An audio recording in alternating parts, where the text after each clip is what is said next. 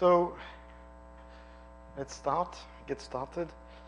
Uh, we just finished to walk up the, the hill, so we're slightly. Uh, one of my PhD students, I won't tell you which one, had a caipirinha at lunch, so uh, if I don't uh, find the before he enters, uh, if I'm stuck in the proof at some point, I ask him to to jump in and correct me. Okay, so maybe what I want to do today is uh, twofold. First of all, to, to show you in practice how, uh, from what we saw on Friday about uh, the fact that you have the discrete holomorphic, uh, discrete analytic functions defined uh, in the Ising model, or in the FK model uh, for q equals 2, remember there was this relation that you had a complex valued function that was looking at, I will write it, uh, you know, weight, you weight the probability that you go through a given edge by something according to whether you winded, how many times you winded around before arriving there. Uh, that this function f uh, satisfied something like if you were sitting at, an, at a site, it was satisfying the fact that f north plus uh, f south was equal to f east plus f west. And then I very briefly showed you uh, that this relation could be interpreted in terms of a discrete analyticity uh, property. Uh, but that's not the end of the story. Remember, I mean, it's like uh, you have the three arm story uh, that can be interpreted in the discrete percolation that can be interpreted as a discrete analyticity uh, property, but then you still have to prove something, you know, concrete about something in the limit converges to something else. So the nice thing about complex analysis is that it's very, in some sense, very rigid. So if you have a, an analytic function and uh, you have certain constraints, uh, the analytic function, you know, cannot be too wild. So it's, an analytic function is nice. And so you are in good shape uh, in order to prove that something discrete, which is discrete analytic, converges to something continuous, which you hope is continuously analytic because uh, things are quite uh, rigid. Uh, however, I mean, they, it requires still sort of a lot of work. And uh, in a way, you, you can even argue that the, the, the statement I showed yesterday, I mean, uh, Friday, the f of north plus f of south is f of east plus f of west, was already more or less around, you know, in the physics literature, or, I mean, you know, people like Cardy, the type of tricks, or Nienhuys, the type of tricks they knew. Uh, what they didn't know was first to recognize that this was a discrete analyticity uh, thing, uh, property, and then also to, you know, do technical thing to recognize that this was actually enough to prove convergence. And so most of the, and you will see today that many of the miracles, you know, that happened there are, lie not only in what we said well, Friday, but also in what will happen today, in the sense that it is possible to use this discrete analyticity uh, in a certain way to, to control things for the Ising model. So uh, there will be one part of the lecture where I will try to show you basically uh, how to prove convergence of one given observable, which may be not the, the function f, because today we will not have time, but some related function. Uh, and, and then uh, at some point we use, I mean, what is needed, and if you look at Stas's uh, preprint, uh, you, he uses Onsager's, I mean, some a priori estimates that come from, you know, from complete uh, different uh, arguments. And so what I will try to show you also today is a, a short proof of the fact, of the needed fact, sort of, uh, that makes that you don't have to use Onsager's uh, uh, computation uh, and this mess in order to prove rigorously, I mean, to the theorem that Stas has proved in, in his paper. So now this is slightly risky because uh, when I took the plane to Buenos Aires on, on Friday, I didn't know how to do it. And then when I arrived in Buenos Aires, okay, the plane was late, so there was a two-hour delay and so on. So uh, I think that in the waiting lounge in, in at Rio Airport, I, I think I've, maybe there is a short, shortcut. So maybe it's wrong, right? So I use it also here as a, as a test, you know, to check if, if something is wrong in, in, in my argument or not, we'll see. Um, Of course, it's not a proof of a new result. It's just, you know, trying to find the most elementary proof for those of us who don't understand uh, or who understand Onsager, but not to the level where they can say safely this is a, a full proof uh, of that statement. Okay. So remember what we did was we were looking at the FK model for Q equals to 2, right? And we had a domain which was separated into two pieces.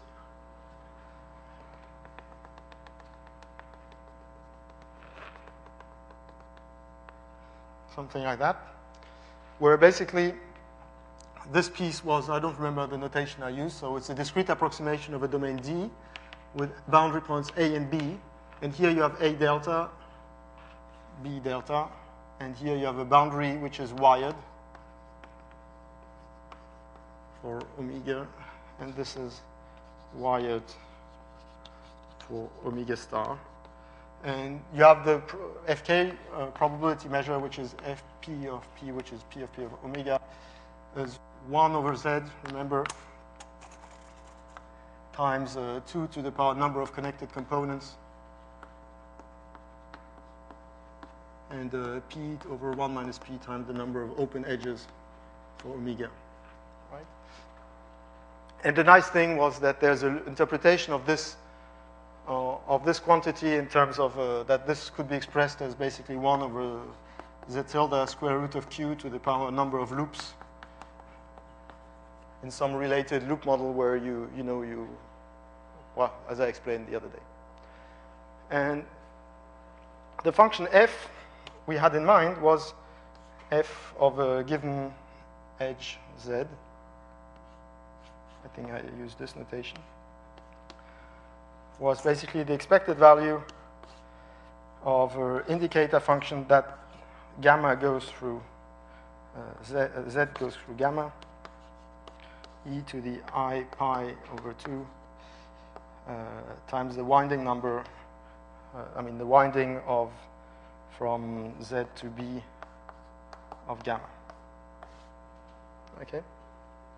And as I told you, this weighting could, is just a difference, right? So you count the, it's basically the probability to go through z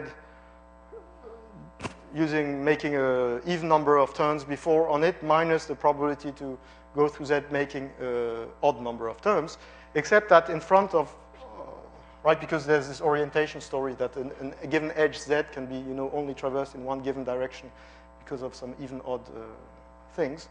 And also there's this idea that um, this quantity f, because of this very, uh, so for instance, if you are in a situation where you have a, an edge z like this, where you know, so I just remind you what we did the other day if you have an edge, a point, a side z like this, where you know that the curve gamma, if it goes through, through the edge z, uh, has to come in through one of these horizontal things and go out through one of these horizontal things. And if you know by other means that, say, the edge where you go out from B has to be eastwards, then basically in this definition, what you see here is that uh, this guy here, the F will be real, because this will be just a difference between the probability uh, of going through f, making an even number of turns, minus the probability to go through, through this edge uh, times an odd number of terms, and there's no complex number here because everything is just a multiple of 2 pi. Uh, the w's are multiples of 2 pi. And for the same reason, basically here, on this edge, f is imaginary. Here, f is like uh, e to the i pi over 4 r, or maybe I'm doing something wrong, e to the minus i pi over 4r.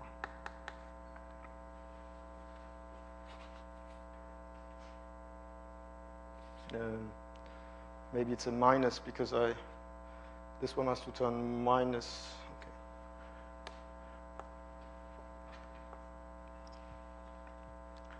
Okay, and we had this simple relation, which was that f of north so if, I, if this is north, west, and so on, plus f of south was equal to f of east plus f of west.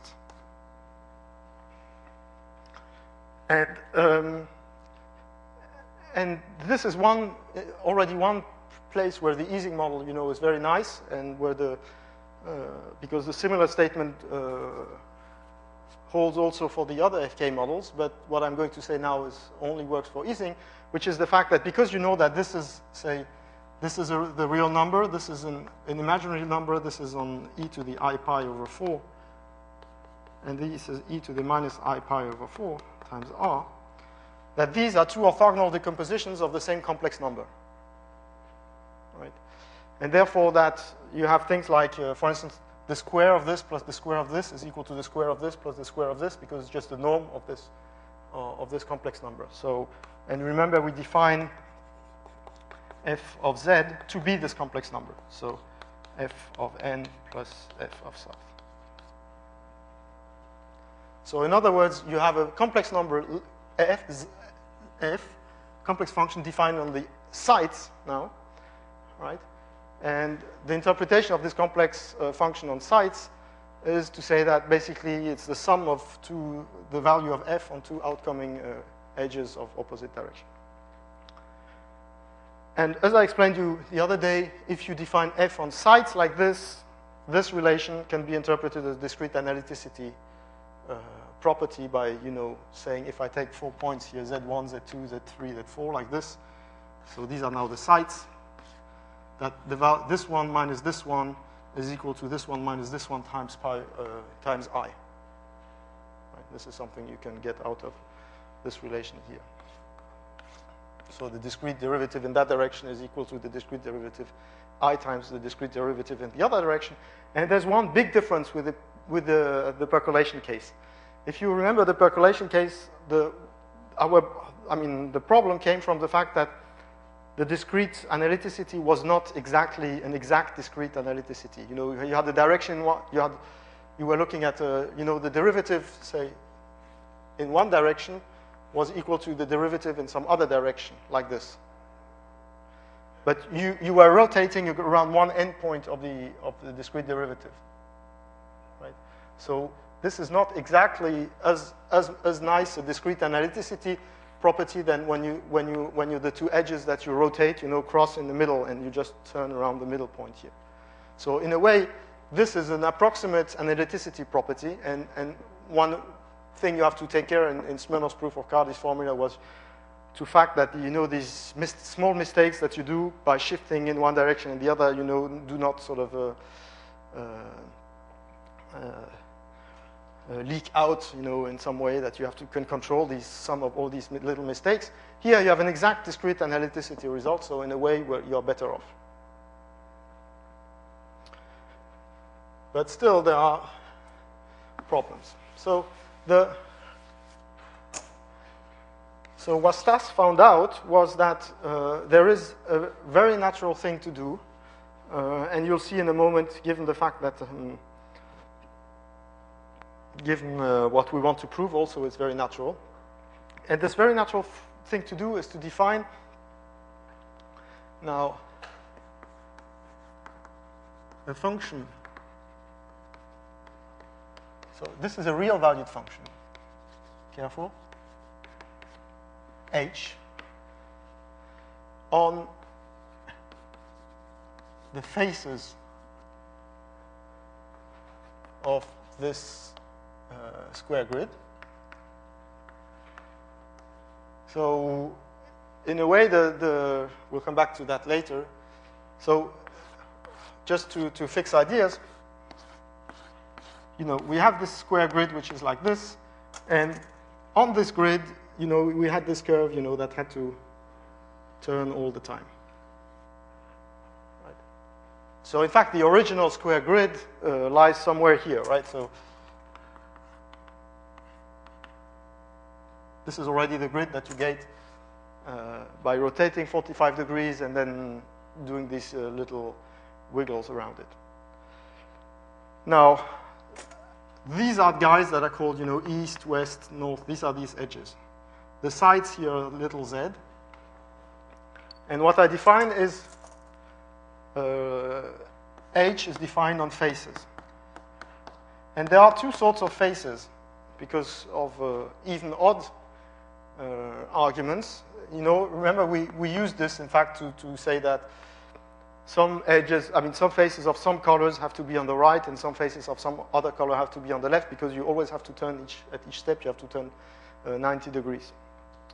So you divide this uh, set of faces into two, two, two subsets. So say the, uh, so divide uh, this set in the black ones I just use the same notations as in the white ones. Like a checkerboard uh, uh, decomposition of the square grid. And, um, and then, of course, when you're on the blackboard, it's a question, you know, when you draw something white, is it a black uh, face or, or is it a closed or is it a, a white one? Anyway. Uh, I guess in my notes I used uh, gray and uh, okay anyway. so uh, so we want to define uh, and we want that for any neighboring two neighboring faces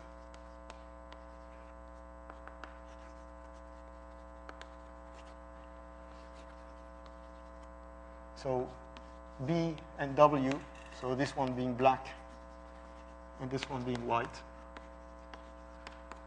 We want that H of black minus H of white is equal to the imagine I mean to the squared of the value of f where E is the edge separating black and white.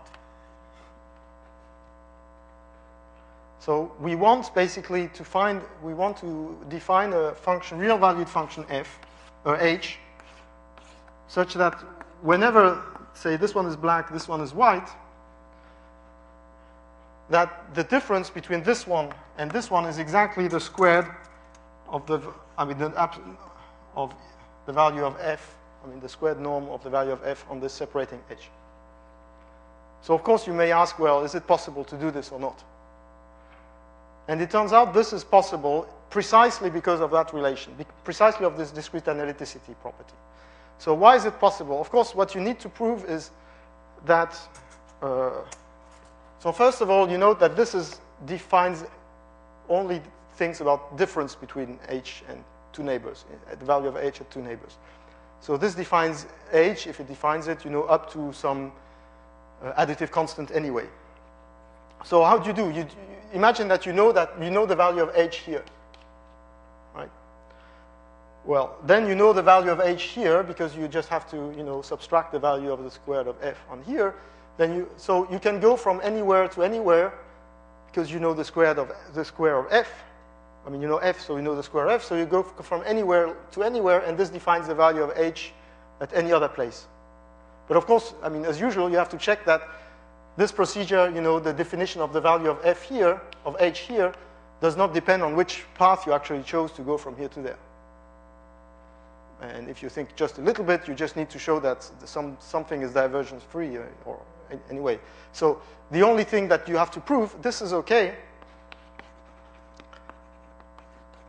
only if for any uh, picture like this, with four squares. So let's call this uh, B1, W1, W2, W2 in my, in my, in my domain.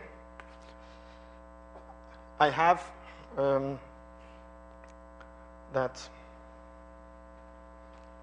when I go around the square, like this from here to here, then from here to here, then from here to here, and from here to here, that when you add up the increments, you get zero. Because in that way, basically, you, for each closed loop uh, that you can define, you end up to zero because you can decompose, decompose any closed loop into sum of loops like this. Right? So why is this true? Well, this is just a simple remark. So here in this picture, let's denote this guy by north, south, west, and east, these edges. So what we want is that f, what is the increment from, here. I mean, if you look at the increment, we get, okay, black is larger than white, so we get f of north squared minus f of east squared plus f of s squared minus f of west squared. Right? That's the increment that you would get by turning, you know, uh, well, the other way around actually, but, right? That's what, f of north is what you lose from here to here. f of east is what you get, I mean, f of east squared is what you gain, gain from here to here. Then that will you lose this, and what you gain here. But here you recognize that this is just, you know, if you put this together and this together, you get just f of z squared minus f of z squared.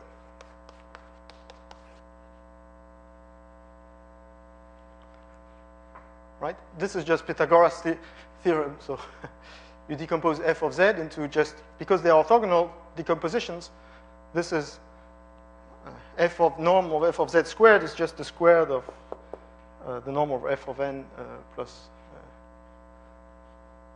norm of f of s squared. So here you see that there is a little miracle, or it's not a miracle, but you have to recognize that uh, it is a very natural thing to do to define uh, this function h, given the fact that we have this discrete analyticity. And of course, you can interpret this, you know, if you are a complex analyst, you might say, well, yes, of course, this is just uh, some, uh, uh, okay, h is basically the real part of some integral of some function. Okay? So now we have defined a function f, uh, a function h. And now it turns out that it is very convenient to try to understand the limit of h first before understanding the limit of f. So that's probably what I will do today in the first half of the lecture, is, is basically try to, or that in this lecture. I mean, in, it's not a lecture, it's an informal session, I should warn you. Um, in trying to prove that basically this uh, h converges to something nice when delta goes to zero.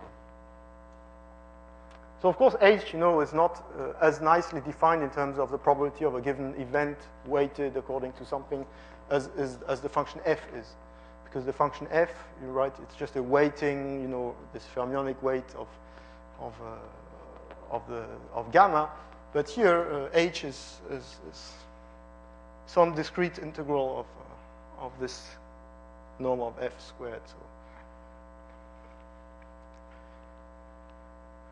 And I mean, the, the, if you look at Stas's paper, that's the idea that you say you first prove that you understand H, and then you try to say, well, now that uh, behind H, because we'll, we'll see that some discrete harmonicity, harmonicity, harmonic, harmonicity. Oh, okay, anyway, it's discrete harmonic, and um, uh, uh, function. So therefore, it's the real value of some analytic function, and the analytic function in some way is uh, the discrete integral of uh, f of e squared, if, if you want. Okay, we, we, we will uh, come back to that later. So what can one say about h? So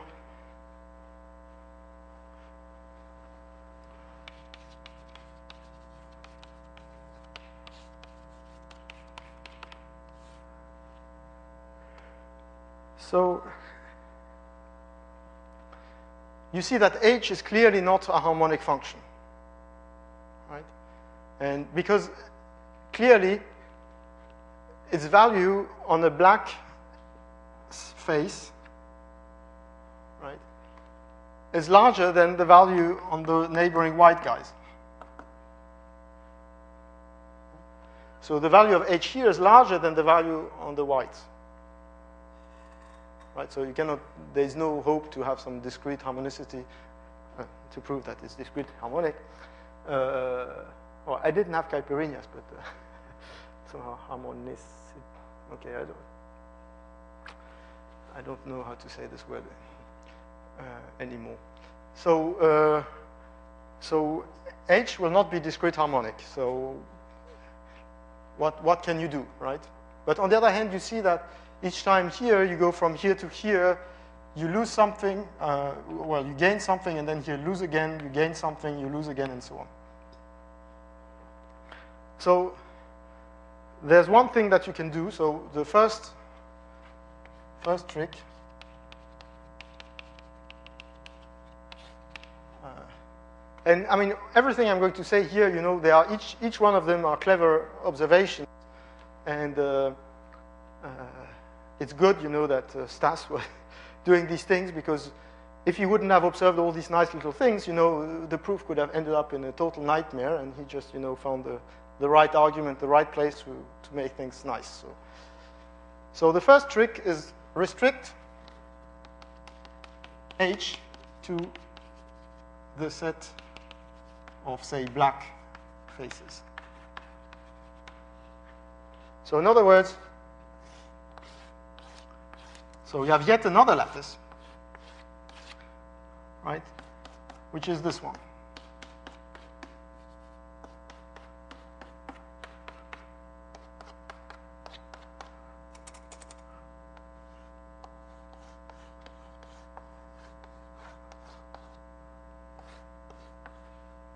Okay.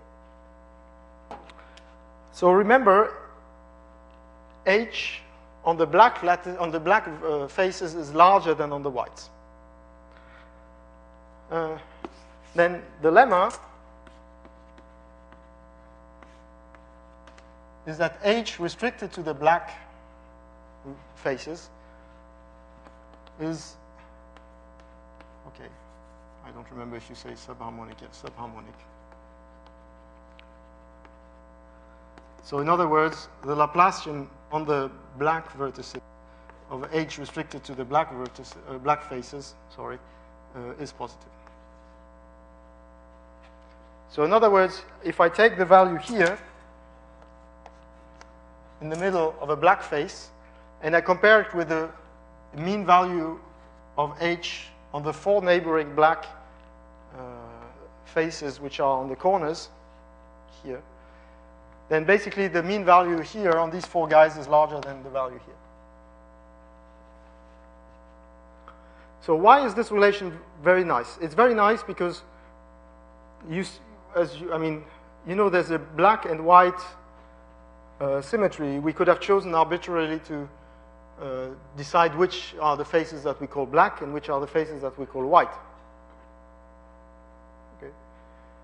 And this would have changed h into minus h right? Because then instead of going up here, you will go down and uh, of the same, the same value. So this will tell you, so because of symmetry, this tells you that H restricted on the white will be superharmonic. So the Laplacian restricted to the white guys of H restricted to the white guys will be negative.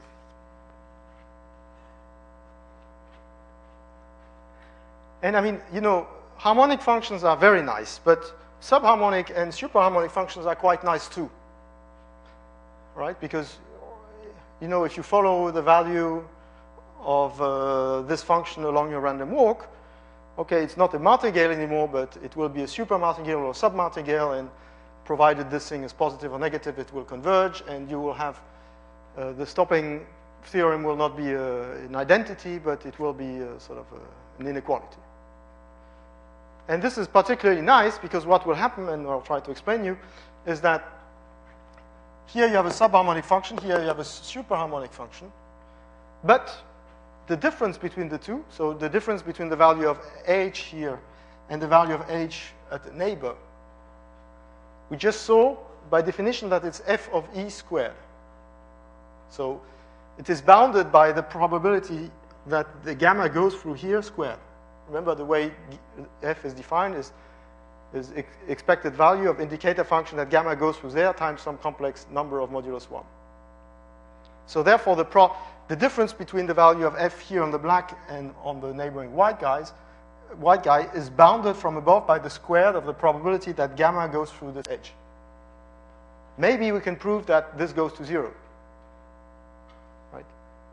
Maybe you can prove that for a given fixed edge, the probability that the curve gamma goes through precisely that edge, that this function, that this goes to zero. then we are in good shape because you have one function which is subharmonic, you have one function which is superharmonic. Both are very close to each other. And what we will show in a moment will be that, in some sense, the boundary conditions of both, you know, on the boundary of the domain, will actually be the same.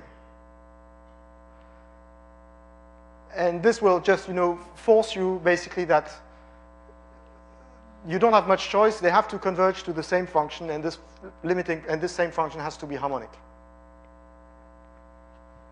And so, therefore, you will get that the limit of h on black uh, is equal to the limit of h on white, and that is just so. In a way, so it's going to be a, a, harmonic function h, where here you have a, here you have b. You let delta goes to zero, get delta go to zero, and you just take the function h, the simplest one you can imagine, which takes value 0 here on this boundary, 1 here. So, you know, if you take the conformal map of this guy onto horizontal strip, as we had the, the other day, it's just the imaginary part of this thing. So we, we will come back to that uh, in a moment. So this was just to motivate uh, this first trick that it's, it's very nice to, it's already very nice to have a subharmonic function here for this function on the, on the black vertex. So how do you prove this? Okay, so I don't recommend going through the appendix uh, that Stas wrote because he proved it in many pages by just doing the, the, the plain uh, expansion. Basically, let us look at what it means, this, this uh, proving that it is subharmonic. We want to take the value here the sum of the values of f here, right, minus uh, four times the value in, in the middle. So maybe it's, it's better to take two times the value here, plus two times the value here, plus two times the value here, plus two times the value minus eight times the value here. You'll see in a moment why. Okay. Now, I'm going to draw these, uh, these little uh, lines to say that each time I draw a little uh, uh, edge like this, a little arrow like this, it means that I count the value here minus the value here. Okay? Now I claim, of course, that one way to do things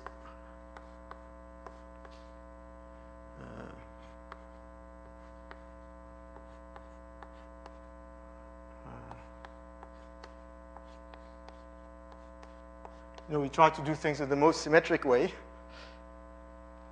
Right? I, I look at basically what is the value here minus 8 times the value here. Right? So I say this is the value here minus the value here plus the value here minus the value here and so on. So here you have two outcoming edges out of each, uh, arrows out of each uh, the corner guys and eight incoming guys in, in, in the middle and here the sum is zero.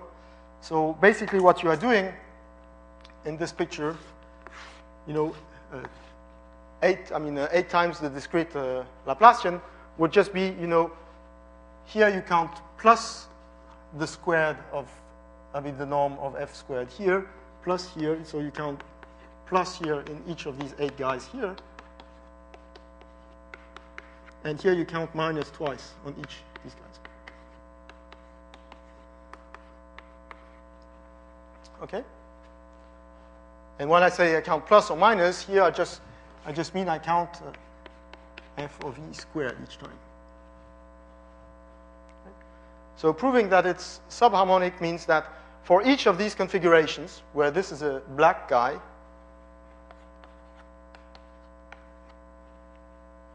right, that if you basically sum the squared of the norm of f for each of the, on these, each of these edges, counted each time once with a plus, and you subtract the square of the value of the norm of f on, on these four edges here, each time counted with a minus, uh, then you get exactly eight times the discrete Laplacian, okay?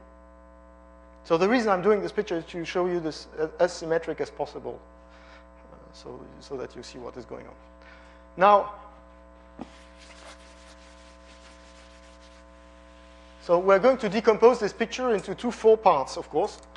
We want to regroup these guys.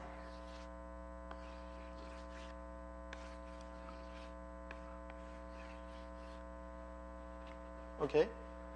Why do we regroup these guys? Because in that way, here now I have a, a side Z, right?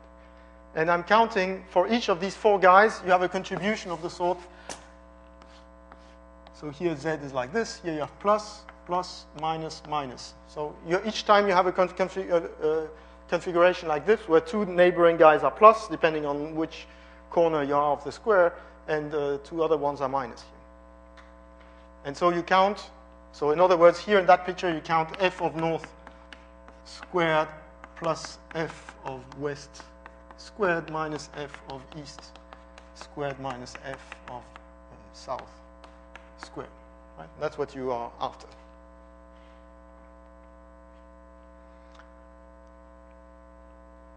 Now, here in this picture, imagine that this is the guy you're looking at. Remember, we said that f of z was a complex number, and that in some sense the value of f on each of these four uh, neighboring things was the projection of this complex numbers on this complex number on, on four you know, different lines. So it could be 1 e to the i pi over 4 i or e to the 3 pi over 4, depending on. And of course, the, the, the knowing which one corresponds to which one depends on, on, on uh, which corner you're looking at. So what we did before to prove that f was, uh, I mean, that h was well defined, was to use the orthogonal projection by saying, well, I take the projection on 1 and i, or e to, I mean, the orthogonal projection. Now the natural thing to do here, because then we, will, we want to go around the square and sum the contribution to each of these four corners here, the natural thing we want to do is just to say, well, I want to keep here, imagine that this is the top corner, I want to express everything in terms of the value of f here on these two things. Because in that way, so I will get, and this is possible, right? You have a complex number f of z. You know, say, imagine you, you know its real value and you know its projection on e to the i pi over 4. Then you know everything by just linear, you know, f of z, and then you know the projection on the others also. And so therefore, it is possible to express this sum of four things by just a linear combination uh, of uh, things involving uh, what happens on these two boundaries, on, on these two edges. Okay? And then you do the same for this one, and you do the same for this one, and you do the same for this one. Of course, the reason you know is at some point you have to turn around and to use the fact that there is some, uh, some symmetry, so that's what you want to do. Now, this is just a really very simple exercise. Imagine, for instance, that here this is here this is 1i e to the minus i pi over 4, the direction, and here e to the i pi over 4. Just to give you an example here, how, how, you, how you do this, right? So you know that uh, f, imagine that f of z is some real number plus i times some imaginary number, right? So the imaginary number is f of uh, west, actually, here. Now, what is, then you get that f of north, or f of, uh, yeah, say, south, you know, it's just 1 over square root of 2 times r plus i. That's the value of the projection of this imaginary number on this diagonal x equal y, right? And f of so in particular, you get that i is equal to uh, square root of 2 times uh, uh, f of south minus f of east. Okay? Because f of east is the real value. Right? And in a similar way, you get that f of north is just... Uh, 1 over square root of 2. So I said e to the 3 pi, so probably something like i minus r. And so therefore, Uh, did I say on e to the i pi? Oh, no, I said minus here, so it's the other way around, r minus i. Right? And so you can express it again in terms of uh, f of east and f of uh, south by doing this here. Right? And so you get a simple, now when you, okay, let me write it just for you to see that there's no mystery. I'm not hiding anything difficult. So this would be 1 over square root of 2 r minus square root of 2 f of south plus square root of 2 r. Right, so. Okay, so now when you expand this guy here,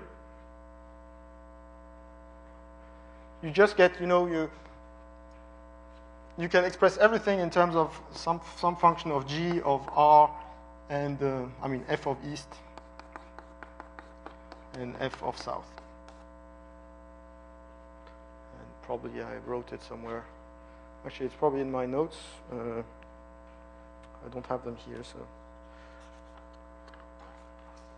Anyway, it's not very important.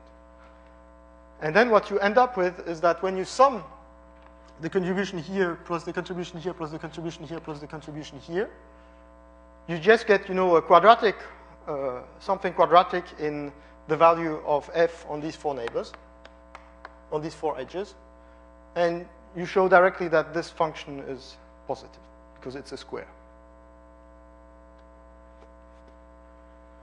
So it would have been more convincing if I wrote you what the function g is. Maybe if one of you has my course here, then uh, he, he, he, may uh, tell me what it is, but anyway.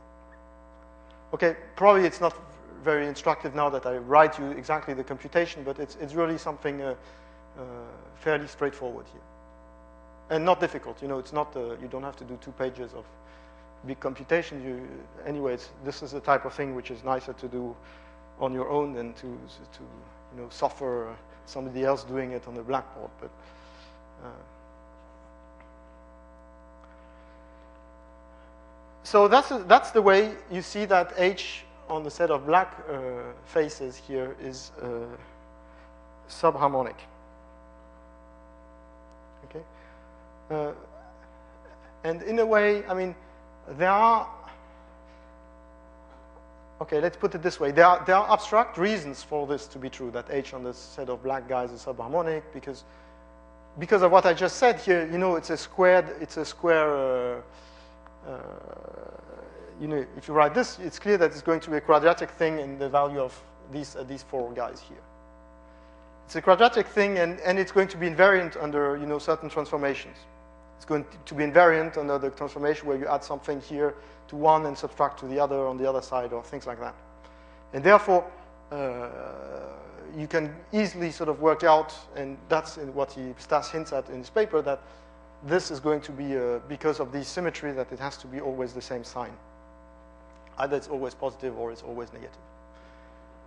But uh, as for me, I must confess, I don't have any sort of, you know, deep, you know, if I should explain, you know, on an intuitive level why it's true, you know, why it has to be like this, that it's subharmonic out of, you know, the previous thing I told you where f is uh, analytic and so on, say, and everything, you know, had the, some, some meaning. The fact that you define h in this way is also a natural thing that you can define it. But here, the fact that H restricted on one guy is subharmonic and on, on the other one is, is superharmonic is uh, not something really I, I you know, uh, you could guess before seeing it that it's true.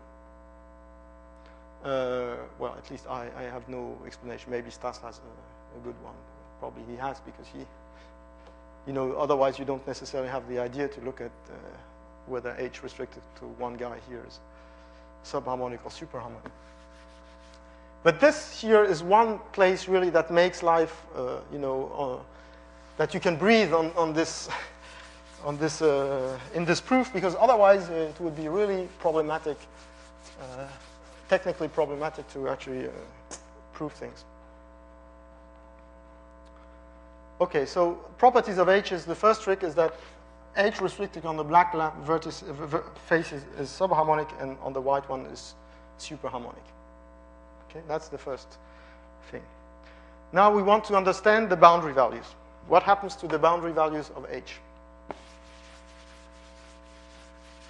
Is that okay? I mean, you, I think you can, I mean, you see, uh, it's elementary enough so that you can work out the details if you want here. So boundary values of H.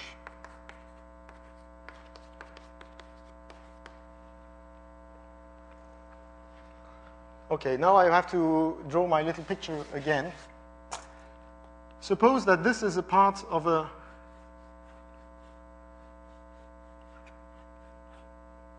of the boundary of the domain D. So here you have, remember it was written, it was defined like this, and here you have B here somewhere here.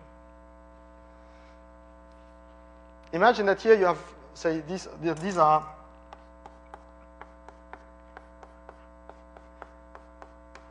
the curve gamma, you know, it, it has always to turn right, left, right, left, and so on. So it's very natural to look at the boundary of your domain, in fact, as being something like that, because uh, uh, if the curve gamma is allowed, you know, to, to do something like this here, it has always to turn here. The boundary will be, I mean, the, the bottom boundary will be formed just by black uh, faces, and the top one would be formed by uh, white ones, right? Because the curve gamma has to leave, you know, uh, black on one side and, and, uh, and uh, white on the other one. So therefore, on the bottom boundary, say here everything, suppose that, uh, okay, it's not a good, suppose, okay, imagine that these are white ones.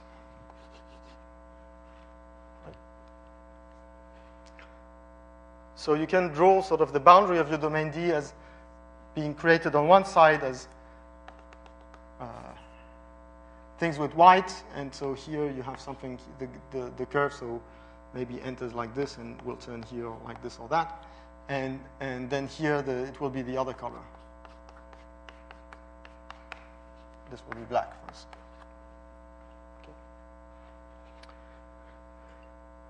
Now, suppose we know the value of h here on this boundary face. What is the value on, say, a neighboring boundary face here? of h.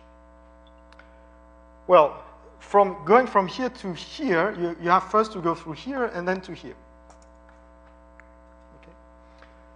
Now, of course, there's a nice observation, and very simple, which is, of course, that, you know, if you are on the boundary, I have two boundary faces here.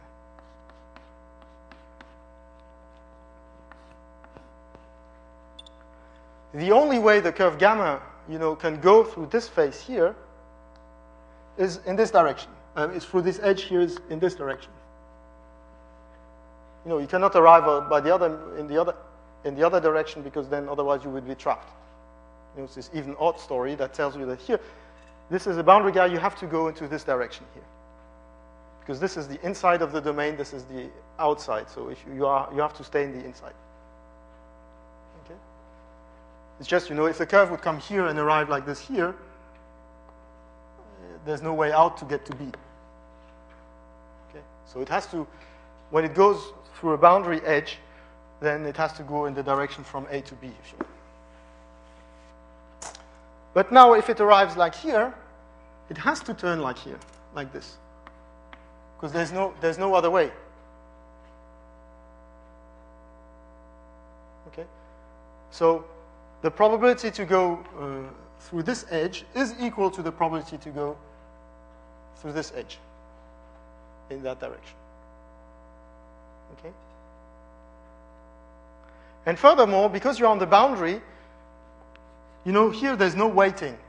I mean, there's no complex weight. I mean, there's a complex weight, but it's always the same for all the configuration because of what I just said. You know, if this is a boundary edge, you cannot, you, you cannot wind around it before or going through it because otherwise you would have had to exit the domain.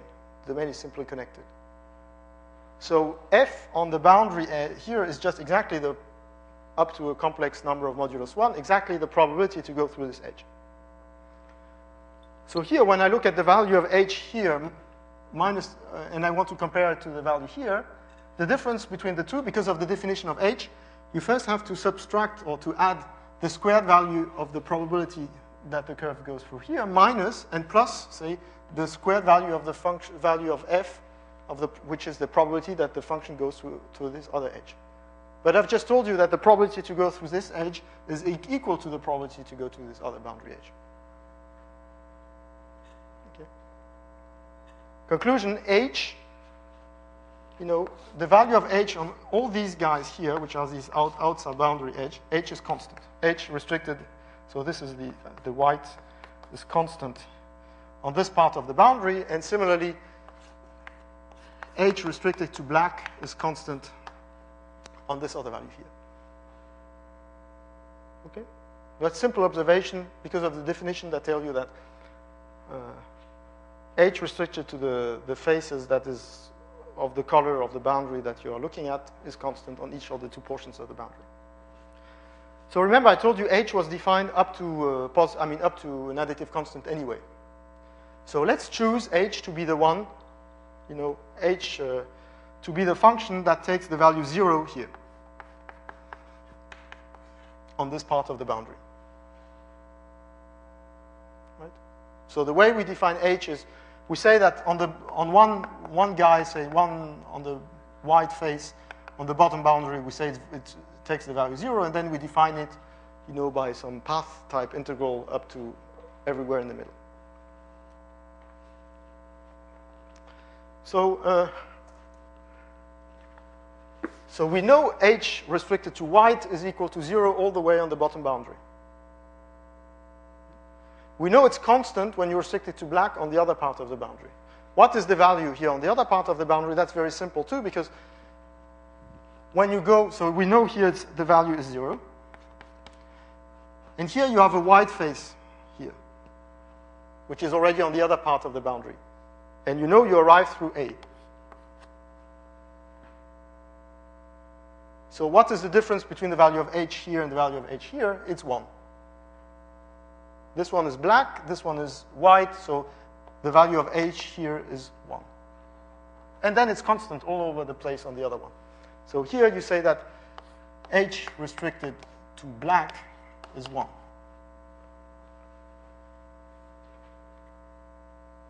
Okay? So what do we have? We have two, I mean, one subharmonic, okay, I, I look at, define this like this. I have h restricted to black, which is equal to 1 here, h restricted to white, which is equal to 0 here. And I know that inside here, this is positive, this one is negative. In the discrete case. That's the picture. Okay.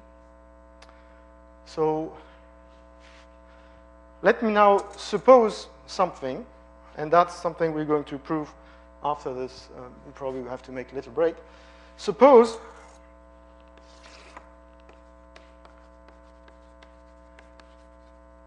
that we can prove the following, which is that for any uh, fixed R. Uh, how can I write this? Yeah. So if you remove the R, uh, R neighborhood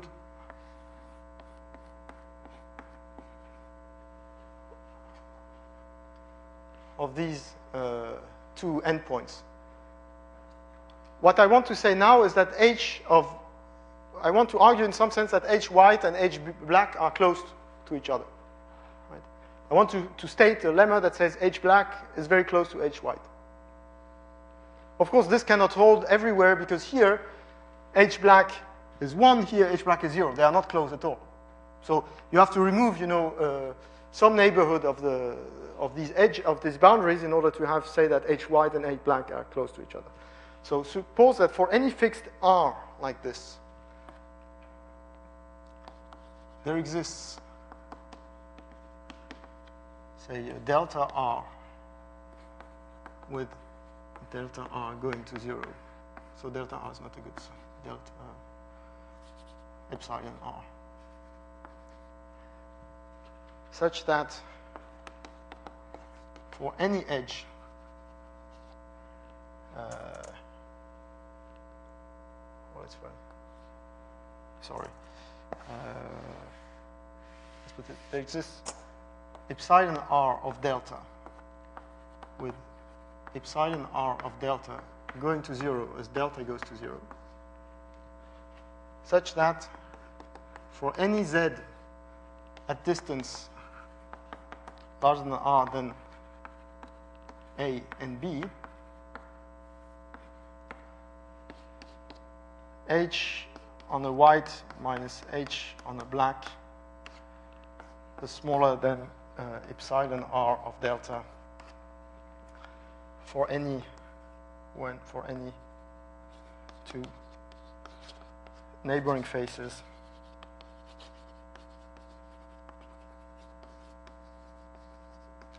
near z. Uh, doesn't mean much near z.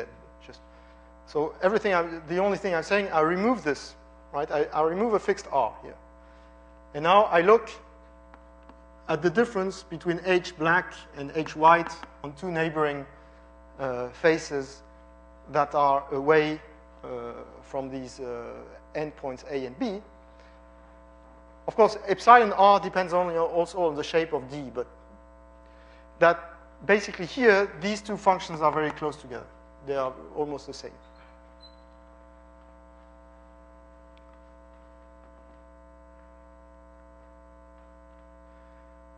Then what you end up here is in a way saying that, let, let me now explain just with, in plain words. Of course, then here this type of argument has two proofs. The first one is, you know, for complex analysts, you know, they give you some something involving some contour integral or whatever and say it's trivial. And uh, for subharmonic functions, and, and we prefer, you know, to have little random walks and if you are doing probability theory, you prefer to express everything in terms of a simple random walk. So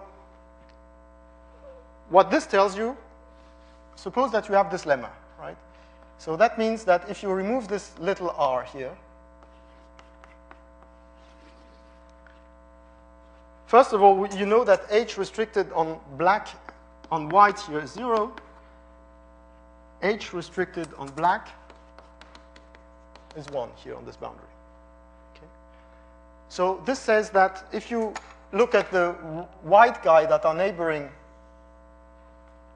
the black ones on the top boundary, right, they will be, you know, larger than h restricted to white, larger than 1 minus epsilon.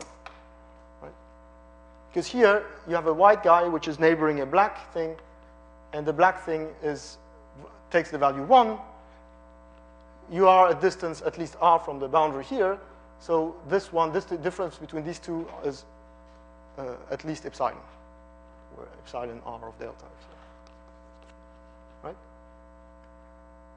And of course, it's smaller than 1 because the value on the white ones is smaller than the value of the black ones. Okay? So why I'm doing that? Because I want, you know, to have a boundary conditions for HW altogether and a boundary condition for HB altogether. So you have to look at the white uh, faces that are near, neighboring the top boundary and the black faces that are neighboring here. But here, exactly with the same argument, here you know that the black faces that are neighboring the bottom part here, except if they are in this little ball of radius r, will be uh, smaller than epsilon r. For the same reason. Okay.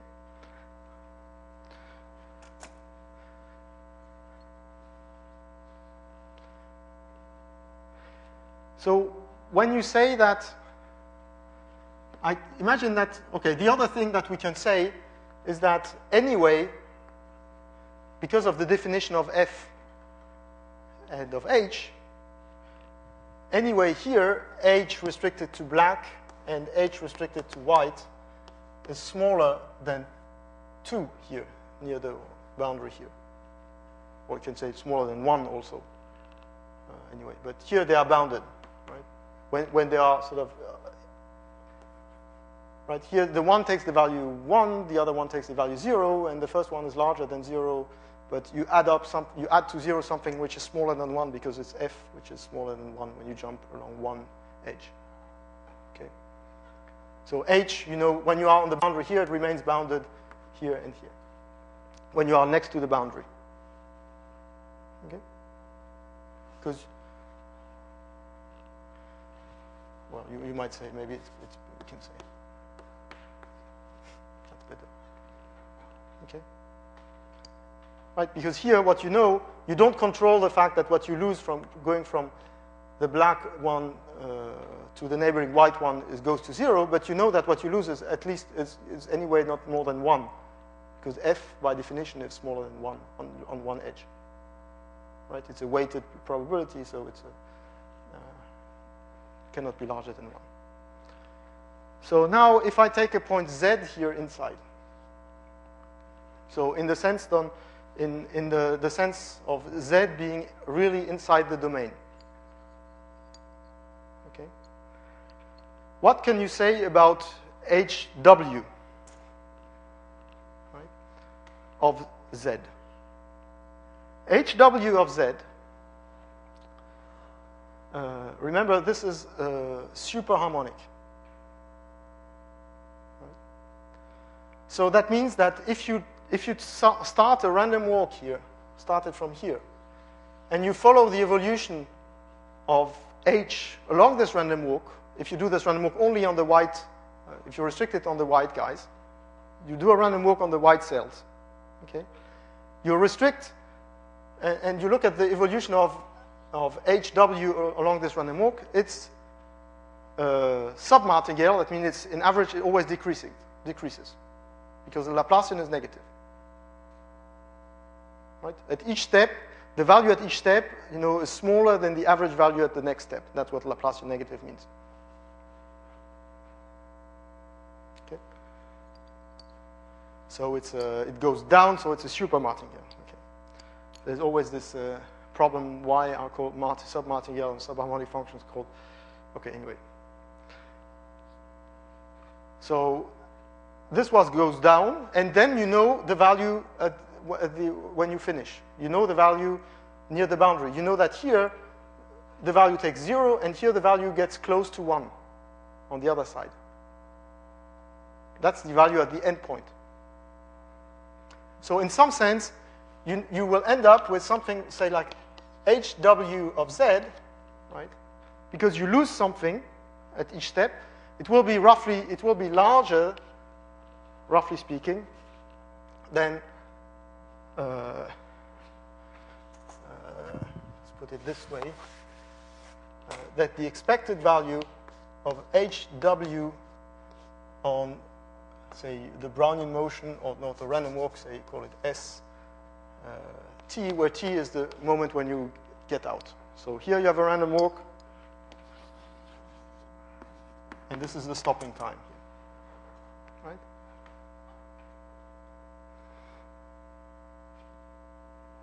Now, what happens to this thing? Either you get out here, the value is zero. Either you get out here, the value is close to one.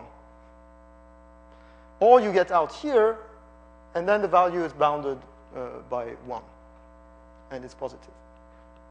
Okay? So if you take r small enough, then the probability to get out here is small. And if you take delta small enough, then the probability to get out, I mean, the, what you, the value you get here is very close to 1. So if you take little r small enough, and if you take delta, the mesh of the lattice, is small enough, what you immediately get is that hw of z is larger than, okay, uh, the discrete harmonic function that takes the value uh, 1 and 0 here on the boundary, on the set of uh, white guys, minus something, uh, minus uh, eta, and this guy goes to 0, provided you take r small enough and delta small enough.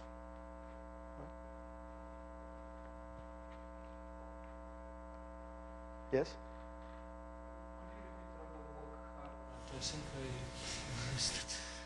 Okay, so what I say is that you have this, uh, this function, H, I, I, I just look at HW. What I say is that HW uh, is, the Laplacian of HW is negative. So the average value on the four neighbors is smaller than the average value in the middle. So that means that if at step, at a given step you are in the middle, the average value of the value of h at the next step for a random walk is smaller than the value at which you are. Right? So that's exactly meaning that uh, hw of Sn it's a super martingale, you know, its average value decreases. At each step, you lose something. The expected value at the next step is smaller than the value uh, at the step at which you are. Well, it could come back, but, but uh, uh, it's an average, right? It has a certain probability to come back, but it's, it's compensated by the fact that you have a certain probability to go uh, elsewhere where the value of h is bad. And so you apply the stopping theorem. So at the stopping time t, at the end, you, are, the, you start better off than the mean value that you have at the end. And I claim that if delta, if r is small and delta is small, then this expected value at the end is basically very close to, as close as you want to the harmonic function that takes the value 1 here and 0 here on this grid.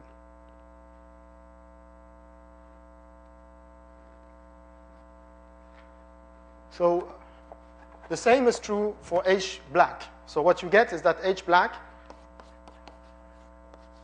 in a similar way, will be smaller than, you know, uh, the discrete harmonic function on the black vertices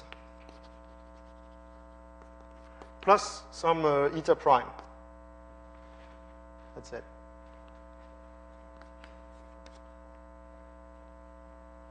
Okay. And now you're okay. Now it's finished because when you let delta go to zero, either you invoke some, you know, uh, general statement about discrete Green function converging to continuous Green functions or discrete harmonic functions converging to continuous harmonic function. Or you just say that simple random walk converges to Brownian motion, whether you look at it on the black lattice or the white ones when the mesh of the lattice go to zero. And you know that this guy, this discrete harmonic function here, and this, this discrete harmonic function here, they both, when delta go to zero, they both converge to the same thing. They both converge to the function h, that is harmonic here, takes the value 1 here, and takes the value 0 here. It's just the probability to, that the random walk gets out on the top uh, of the domain. So you are not quite done, but actually, yes, you are done. Because on the other hand, so you know that this one is larger, that's this minus eta eta can be taken as small as you want. So what you get is that the limit value of hw, or the lim inf value of hw, is larger than this function little h. The lim inf, the lim sup value of hb is smaller than this function h. Right? But hb is larger than hw. Therefore, they converge to the same guy, which is h. So conclusion,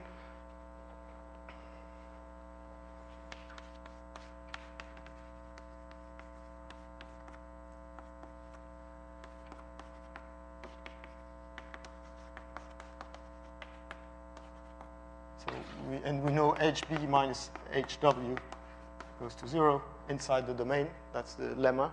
So therefore, HB and HW converge to H.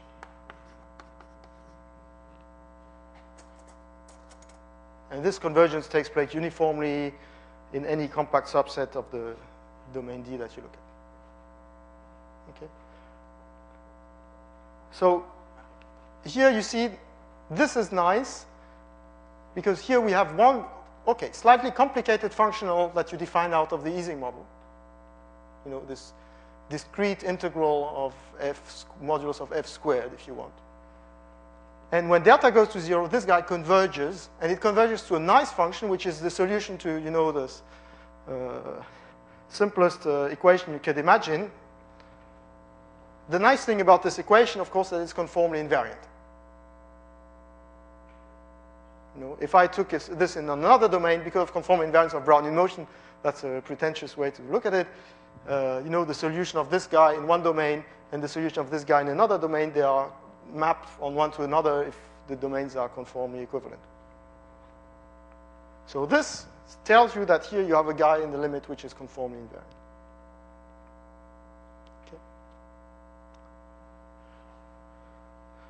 Now, in a way, you, you might say that understanding this limit of h is enough in order to do what you need then about SLE and so on, because it's already something that is, okay, I don't want to go into too many details there, but uh,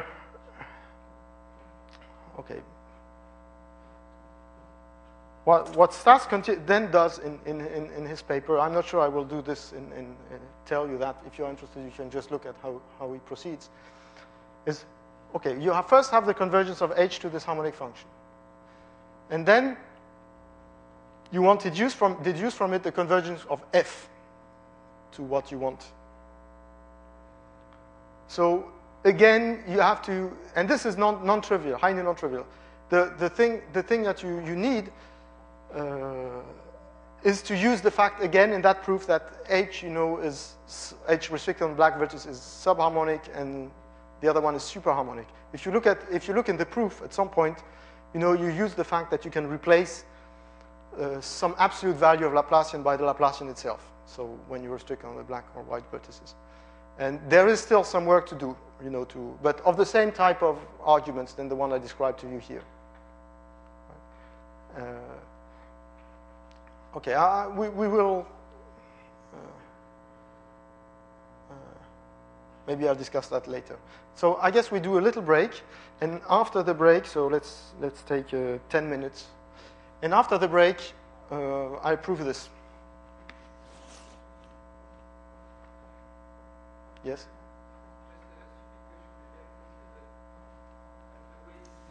HB should be uh, greater than HW uh, with the definition at the beginning, right? Yes. So if HB is bigger than HW and we have the limit sup and the limit inch, isn't it enough to conclude? Yeah, so, so, so they both converge to the same. Why do we need to know that uh, converges to zero? Uh, yeah, okay, that's enough. I agree. Uh, but uh, yeah, that's no, no, that's enough. You could just say HB.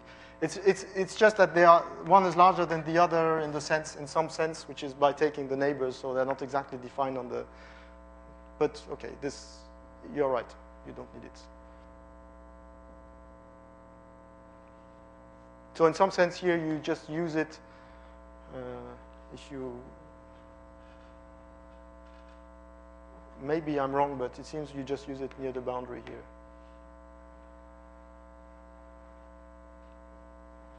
The fact that HB minus HW go to zero. Okay, so after the break, uh, I try to give you a justification of this, because if you look at Stas's paper, the way he's, okay, I'm going to he, he, says this is a consequence of Onsager's estimate. And uh, the probability basically that if you are away from A and B, the probability that gamma goes through there, that this is smaller than, that this goes to zero when delta goes to zero. And I'll try to produce another proof. We'll see what, what happens. Okay, so 10 minutes breaks.